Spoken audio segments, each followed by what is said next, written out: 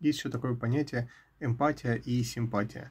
То есть эмпатия – это когда вы человеку сопереживаете, сочувствуете.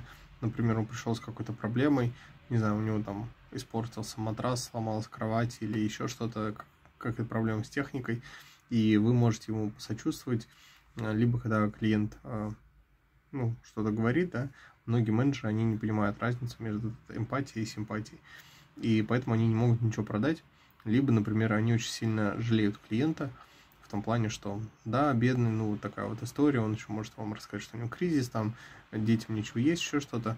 А в таком плане вы, наоборот, можете сказать, да, вас понимаю, конечно, это сложность, и я бы всегда задумался, стоит ли там тратить деньги. Но знаете, как я понимаю себе настроение, я трачу еще больше. То есть, если клиент переключить его с негатива на позитив, что он купит себе новый телефон, заменит на более новый, там, комфортный матрас и будет э, лучше высыпаться, то есть он купит что-то лучшее взамен этого, то тогда и вы ему дадите преимущество, и у вас будет э, хороший с ним контакт. Еще очень важно прислушиваться к идеям и к словам клиента и не выставлять их дураками. То есть часто бывает такое, если вы продаете какой-то специфичный товар, или у менеджеров, э, у специалистов бывает свой жаргон, а, то тогда вы можете просто с клиентом не найти общий язык.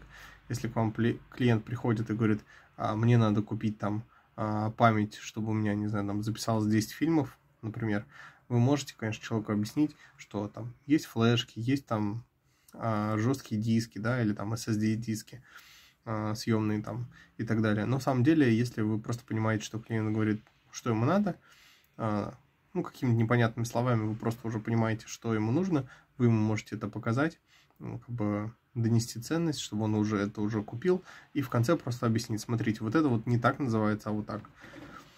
А, и все. То есть, например, я думаю, во всех сферах есть такие примеры, когда клиент что-то говорит неправильно, а просто суть доносит другими словами. И вот как раз экспертность менеджера, чтобы не принижать клиента, а понять, что он хочет, потом продать ему это, закрыть сделку и в конце уже объяснить, что смотрите, вот это вот так называется, а это вот так, чтобы клиент ну, не чувствовал себя дураком до продажи. Ну и вы будете красавчиком.